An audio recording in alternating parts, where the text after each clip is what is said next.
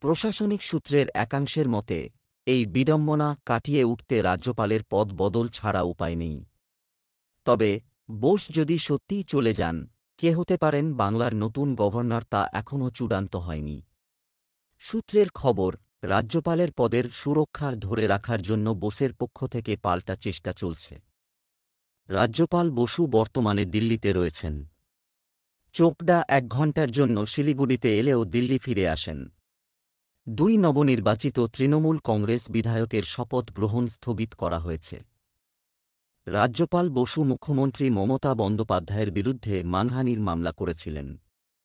মুখ্যমন্ত্রী এবং তৃণমূল অভিযোগ করছিলেন যে রাজভবনের এক মহিলা কর্মী, যিনি বুধবার রাজ্যপালের বিরুদ্ধে তদন্ত। নিরাপত্তা ও ক্ষতিপূরণ চেয়ে সুপ্রিম কোর্টে একটি রিট পিটিশন দায়ের করেছিলেন। দায়ের করার পরে মহিলারা রাজভবনে যেতে ভয় পান। রাজ্যপালের বিরুদ্ধে অভিযোগ। সেই অভিযোগের পর রাজ্যপাল রাজভবন চত্বরে পুলিশের বিরুদ্ধে তাণ্ডব চালান। আর মুখ্যমন্ত্রী আগেই জানিয়েছিলেন তিনি আপাত রাজভবনে যাবেন না। রাজভবনের চারপাশের পরিস্থিতি এক কথায় নজিরবিহীন, সিভি আনন্দ বোসের দিন শেষ। অন্তত এমনটাই জল্পনা প্রশাসনিক মহলে। কেন্দ্রীয় স্বরাষ্ট্র মন্ত্রক মনে করে যে রাজ্যপাল হিসাবে তার মেয়াদকালে বোসের ব্যক্তিগত আচরণ নিয়ে বিতর্কটি কাম্য নয়, একটি সূত্র জানিয়েছে।